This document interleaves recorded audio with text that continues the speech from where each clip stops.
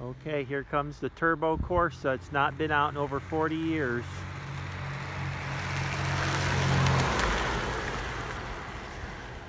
Ninety-year-old man driving it.